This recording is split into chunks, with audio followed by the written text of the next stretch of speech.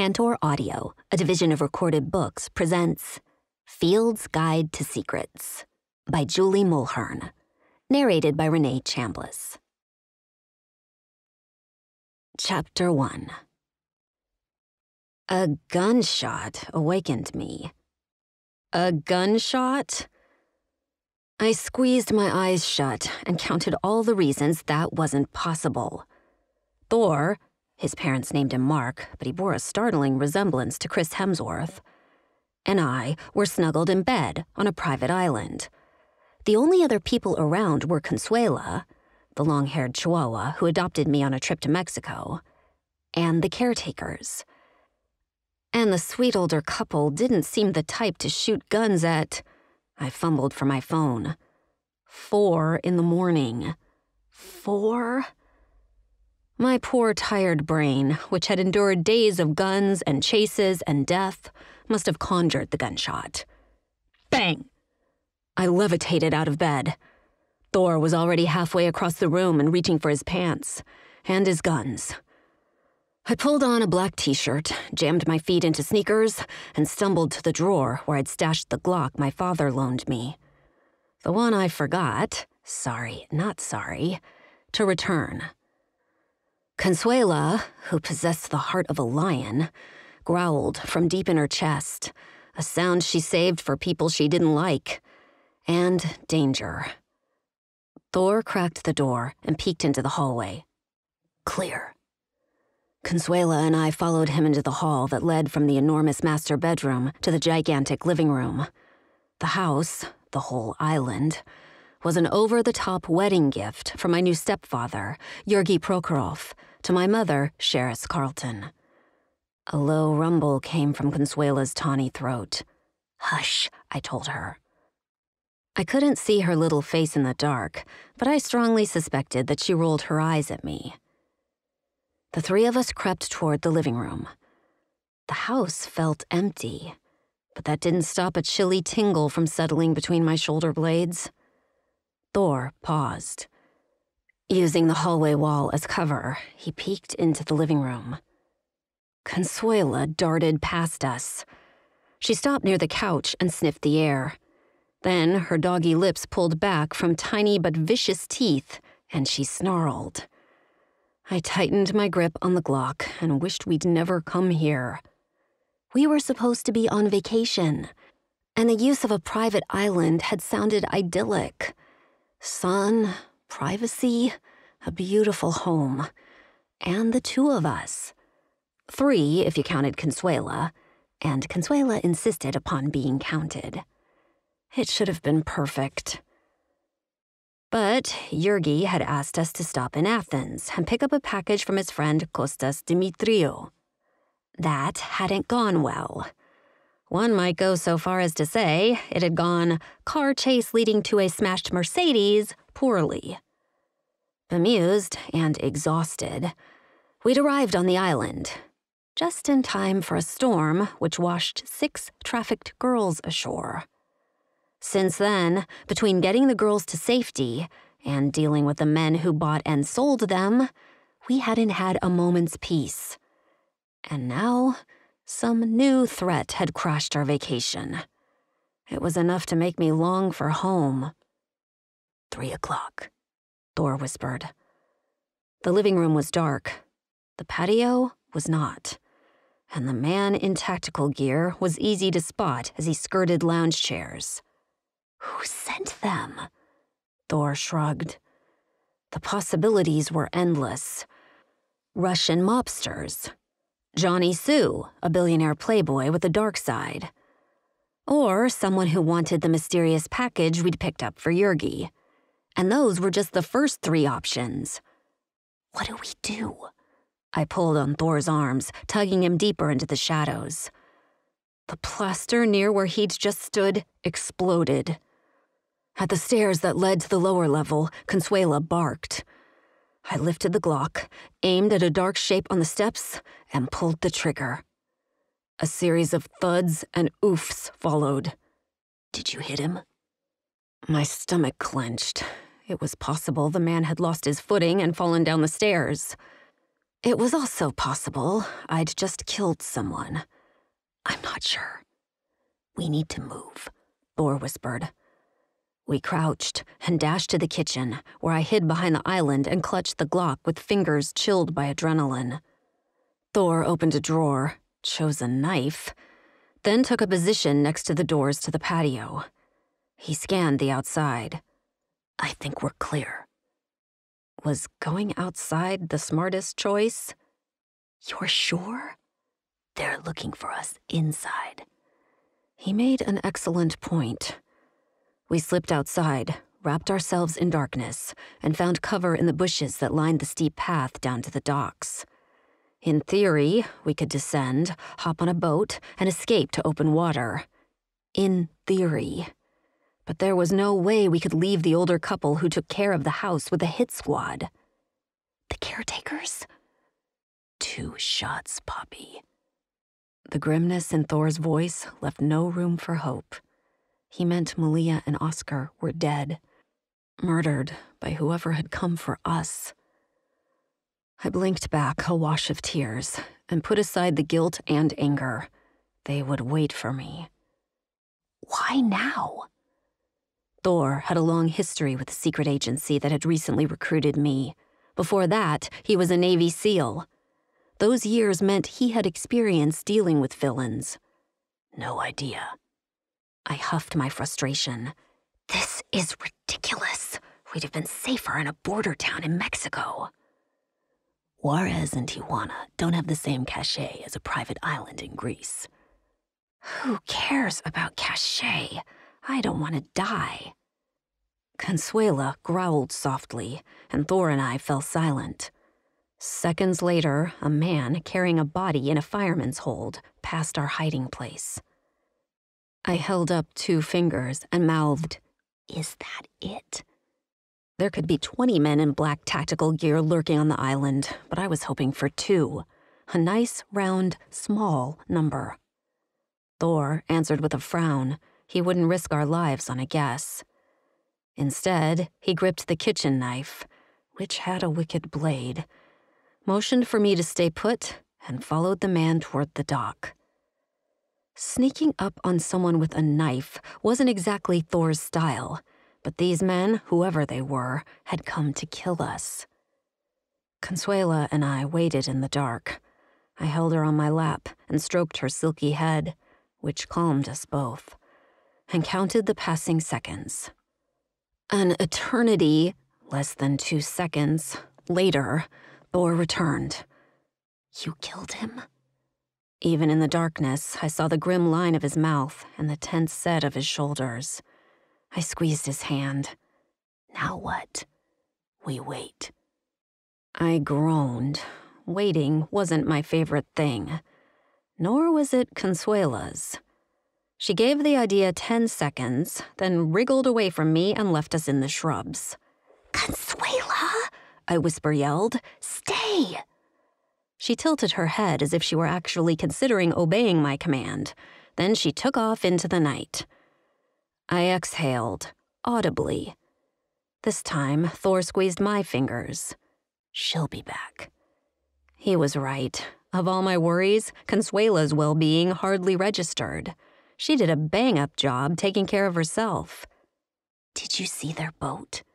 Too dark. In the distance, a man yelped. I tensed. She'll be fine. He said it like a promise.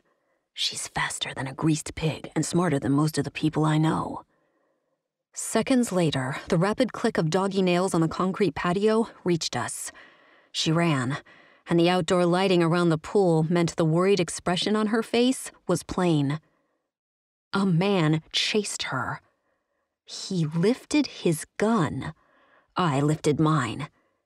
He took aim at my dog. I shot. The man clutched his chest, stumbled into the pool, and floated, face down. Thor gripped my arm. Time to move. I lowered the gun and swallowed a sob. I hated killing people, and my tally for the night stood at a possible two. I had to shoot him. I know. Thor's voice was gentle. You saved Consuela. He pulled me to standing, and we ran for a stand of trees a hundred feet from the patio. Consuela, who was unfazed by her brush with death, disappeared around the corner of the house. I lowered myself to the rocky ground. Do we have a plan? Not to die. Good plan. Is there more to it? The wheels are turning. I let him think. I had plenty of thoughts to examine myself.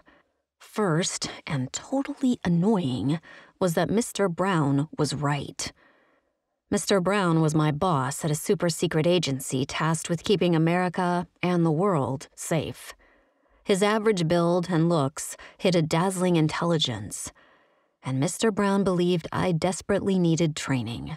He harped on that, often. Second, there was no one I'd rather have with me at this moment than Thor. I trusted him. We fit. Third, I didn't want to die, period. But especially not before I found the person responsible for this. Got anything? asked Thor. I frowned. I thought you were working on the plan. It could be a joint effort.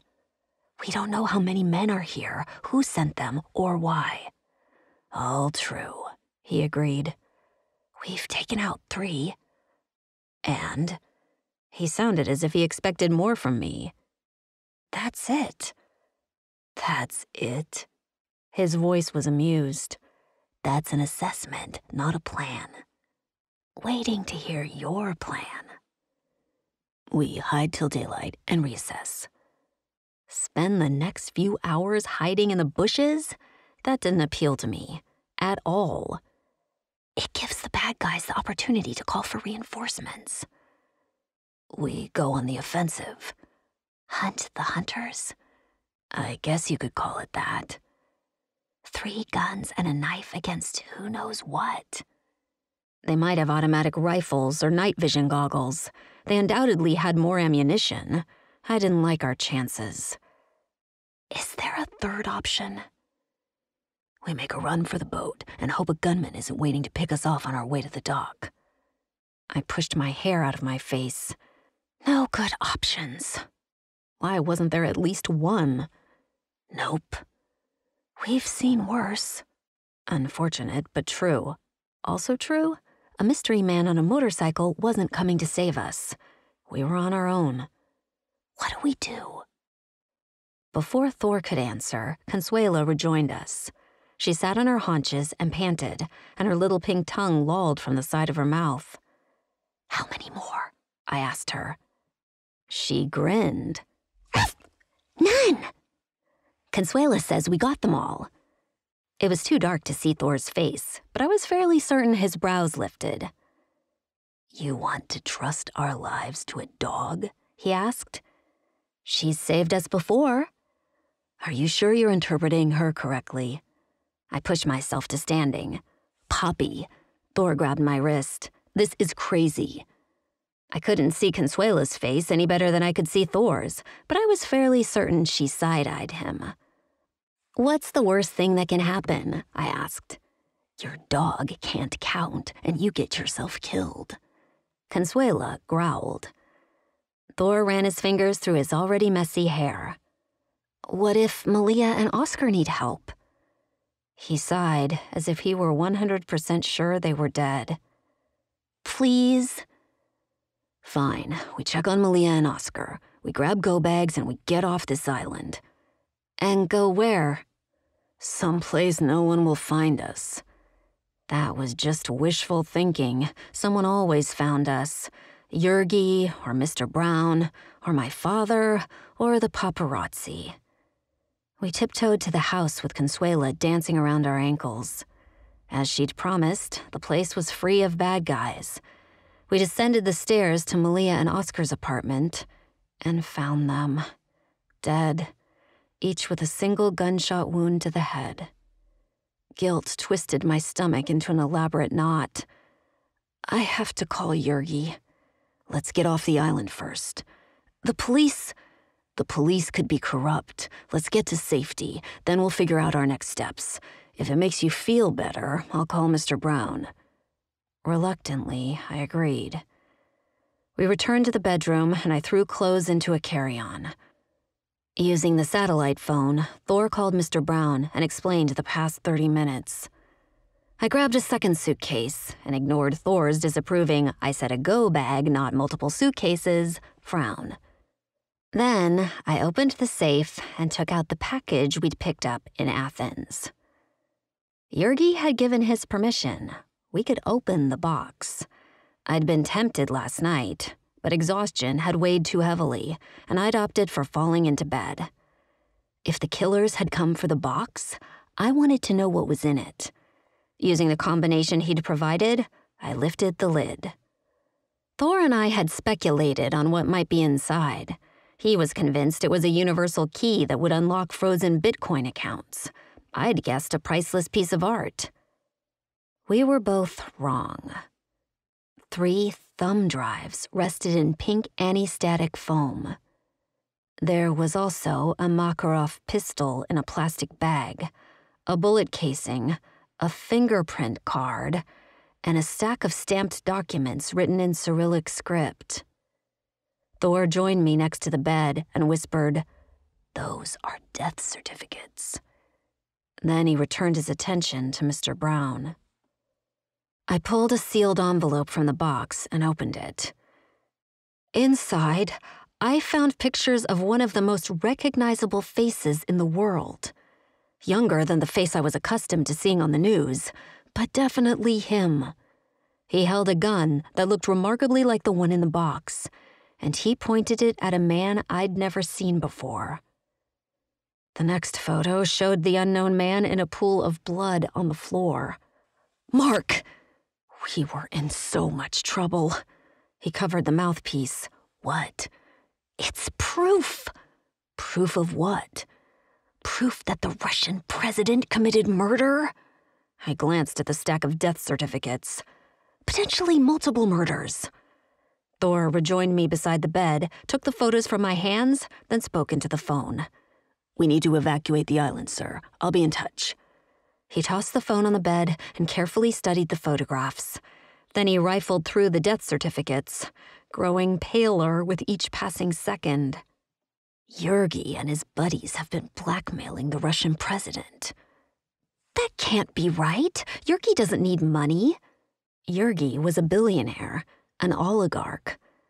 Not for money, for concessions, for shipping routes, for ownership stakes in formerly state owned companies. My mother had married a man who used extortion to build his fortune, and I liked him. That was a lot to unpack. Why didn't Putin have him killed? Yurgi and his friends had an agreement. Thor shrugged as if his idea might pass muster or not. If one of them died under mysterious circumstances, the contents got released? There were rumors. Unexplained helicopter crashes, the hanging of Boris Berezovsky, a Russian oligarch with no reason to kill himself, and numerous falls out of windows. Hospital windows, embassy windows, hotel windows. And those were the rumors. There were instances that were more than rumors. Like Litvinenko, the Russian spy who died from radiation poisoning. The Russian president had ordered the deaths of hundreds, and if I counted the war in Ukraine, tens of thousands. I rubbed my tired eyes. Now that I think about it, why would Putin care about what's in this box? He'd done so much worse than shoot a man. He's holding the gun. It's not as if anyone in Russia would demand justice. Optics, Poppy. We need to leave, now. He returned photographs to the box, then went to the closet and began shoving clothes into a duffel. I found the slit in the lining of my suitcase, pulled out the luggage tracker, and rehomed the device inside Yurgi's box. Five minutes later, we were on a boat headed out to sea. Chapter 2 Thor sat behind the boat's wheel with Consuela on his lap. The rising sun gilded his skin and hair, and he looked more godlike than ever. And Consuela? with her tawny fur blown back and a grin on her clever face, made a fitting sidekick. Where are we going? He turned his head my way. Venice. The morning air was crisp and salty and sharp. I drew deep breaths into my lungs and wished for coffee. Venice was the first European city to embrace coffee. Thor tilted his head. Trade routes? Exactly. The thought of a cappuccino made my mouth water, and I prayed we reach the city before 11. After 11, Italians consider drinking cappuccinos uncouth. Why Venice? There's a safe house. We can regroup. A safe house? A safe house suggested an old coffee maker and stale beans. The opposite of sipping the perfect mix of espresso, steamed milk, and foam at a sunny cafe. I've been thinking. Thor glanced my way. So did Consuela. The auction. We'd gone to Crete to save the girls from trafficking, not crash an auction. But Kostas Dimitriou, Yurgi's friend, and fellow extortionist, had called together some of the world's richest men. It didn't take a genius to figure out what he was selling. I touched the woven leather of my Bottega Veneta tote, which rested on the seat next to me. I usually carried Alaïa bags, but the gorgeous laser cuts in my Alaïa tote would make the box too visible. Could Dimitriou be the one behind the attack? Does he want the box back? Thor eased off the throttle and the boat slowed. He stared at the sea as if the depths hid the answers to all of his questions. Finally, he said, You're right. We should go to Athens. Not where I expected this conversation to lead, at all. I had zero love for Athens. Or Greek coffee. Because it went so well last time? Because we need to talk to Dimitriou. Athens. Sweet Greek coffee rather than a cappuccino. Can't we ask Yurgi for Dimitriou's phone number and call him? It's easier to detect lies face to face. Dimitrio had arranged an auction. That fact was indisputable. But for what? The contents of the box? Or something else entirely? Thor scratched at the golden scruff on his cheeks. We have the box, I rolled my tight shoulders. Dimitriou can't sell what he doesn't have. Exactly, which is a good reason to steal it back.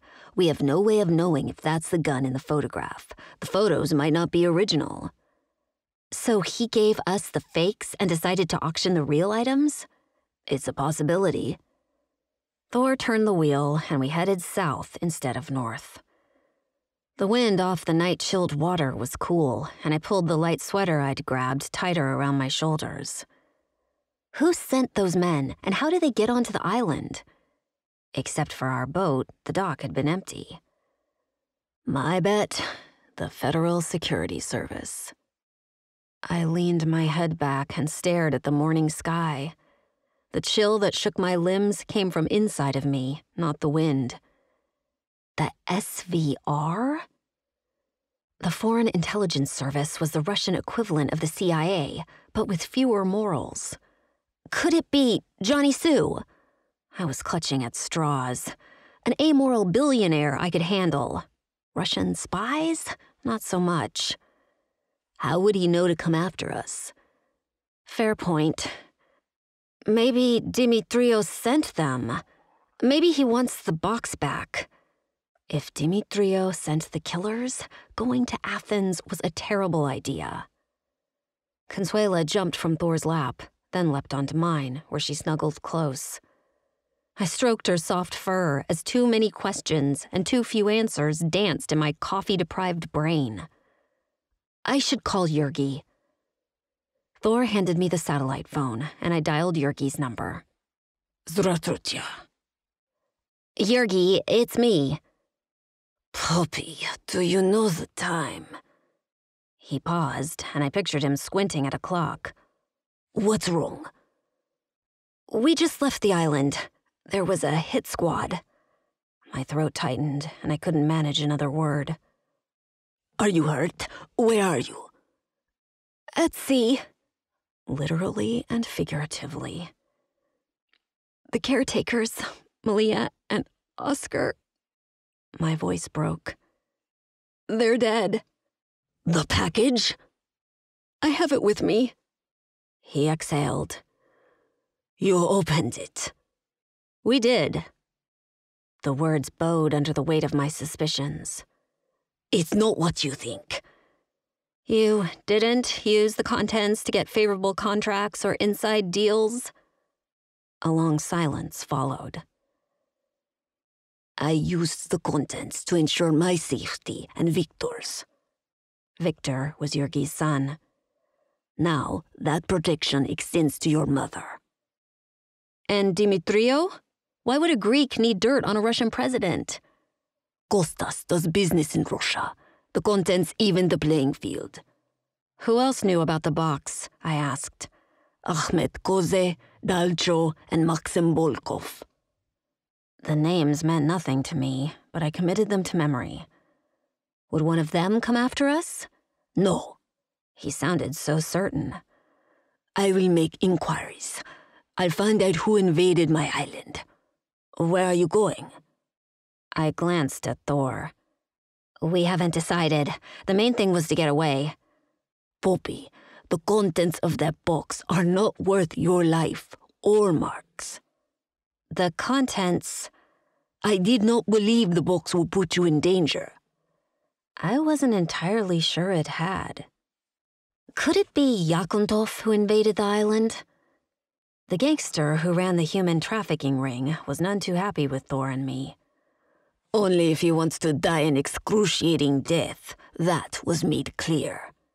Yurgi sounded supremely confident. So, the contents of the box. I let my voice trail off, waiting for confirmation. There should be photographs, a gun, a bullet casing, death certificates, a signed affidavit, and. Yurgi cleared his throat. And? I can remember nothing more. I gazed at the lavender sky and did a quick mental inventory. That sounds about right. I am sorry. I did not think you would be in danger. Kostas, Ahmed, Dal, Maxim, and I keep the contents safe. We have for years, and nothing like this has ever happened. You have a deal of some kind? I asked. If anything suspicious happens to one of us, the others will release the contents. When you were kidnapped? Yurgi had been abducted while at dinner with my mother, and I'd gone to London to find him. They were in talks. It was close. You trust these men?